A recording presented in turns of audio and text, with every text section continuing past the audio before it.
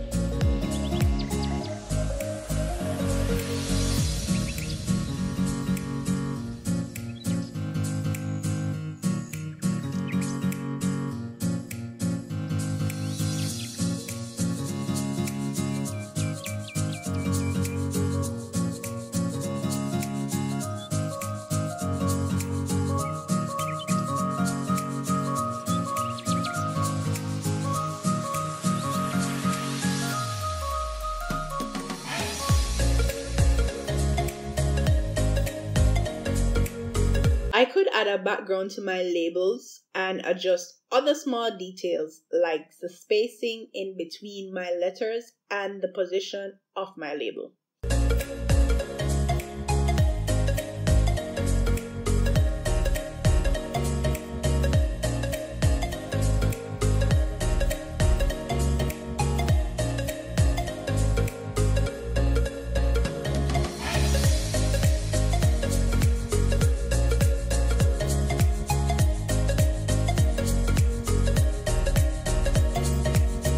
Now we move on to creating hatched features. One thing I've noticed with ArcGIS Pro, I'm not seeing a great selection of symbols here. You can let me know in the comments if it's otherwise. However, it's very easy to create the symbols you want here anyways, so there's no worries really, and that's what we're about to see now. I select the area feature in my table of contents and the symbology properties pops up to the side. So I select a new symbol, but this doesn't satisfy my current need. So I need to go to the properties of that symbol and then to layers and we see all the layers available in this particular symbol. There's a blank layer there, so I want to change the fill to a hatched fill. And that's it. You can change the angle of the hatch lines as well.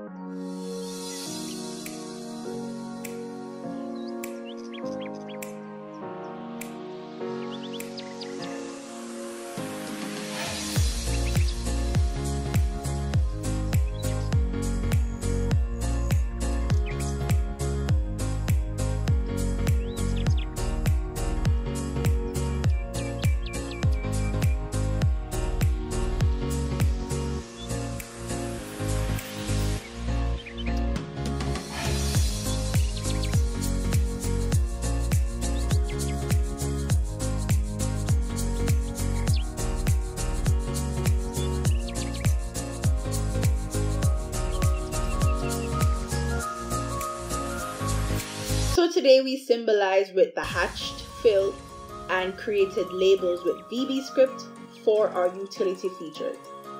In the next ArcGIS Pro tutorial, you'll create layouts and I think personally that this is the best part of Pro.